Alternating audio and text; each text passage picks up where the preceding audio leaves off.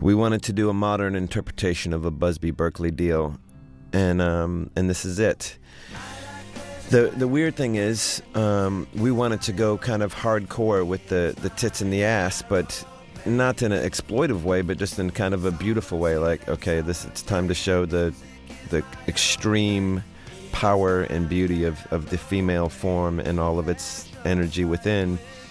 But there was a, a woman working at Warner Brothers who was just so not into it. She's like, no, no, no, that's you can't you can't use a woman like that. And I was like, come on, we're it's not out of out of lack of respect. It's it's out of love for sexual energy and, and all this stuff. And so in the end, she fought it, and we kind of ended up somewhere in the middle. It was supposed to be a lot more racy and kind of sexually challenging than it ended up being because uh, of this dispute at Warner Brothers, which is kind of a drag.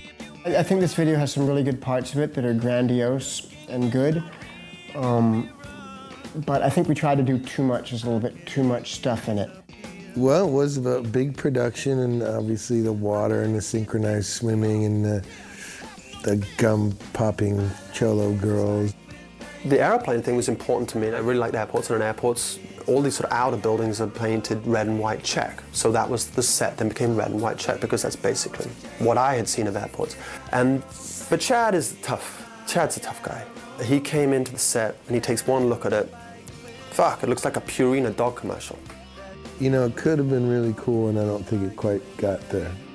I lived in East Hollywood at the time, a very mixed cultural place in the city all of these cholas who would just hang out on the street. And I just thought these girls were just insane the way that they looked and made themselves up.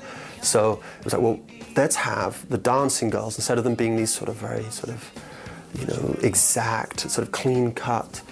You know, we give them this the crazy makeup and hair and uh, glitter suits and whatever. All of this stuff is just designed and all of the stuff is built. There's nothing rented in that video at all. It was shot on the oldest soundstage in Hollywood. It's shot actually where uh, in Universal where they keep the Phantom of the Opera set. And to use the, the, the swimming pool, I think was $25,000, $27,000 fee.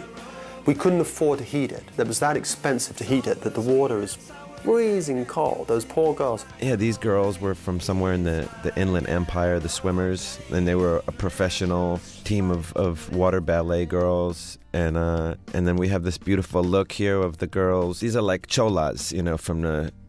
This is like a hybrid of chola. These you know Mexican gangster girls, but dressed up in the full Vegas showgirl golden bodysuits there. The uh, choreography was done by this really wonderful choreographer, Keith Young. And he made up all that stuff on the stage. There was no rehearsal, there's no three days of rehearsing. You've got to do more than just stand on the ground. I know you said you didn't want to do anything goofy, but would you please stand on the, uh, the trapezes? This trapeze is like 25 feet above this freezing cold pool. What happened is the strap broke. Luckily, there was water down below. But yeah, I, I went falling, whatever it was, 20 feet. And sadly fell in the pool. Needless to say, I never worked with them again after that. Yeah, the little kids who arrive at the end is uh, the little kids from Flea's daughter, Clara's preschool. Clara's the little girl in the middle, and she's singing the loudest, and she's super proud that it's her dad's band. The song, It's My Aeroplane, Aeroplane, was originally, I used to have this compilation gospel record, and there was this great gospel song called Jesus is My Aeroplane. And that inspired the song Aeroplane, because he sings Music is My Aeroplane. And that was uh, inspired by that song, which was a great, great song.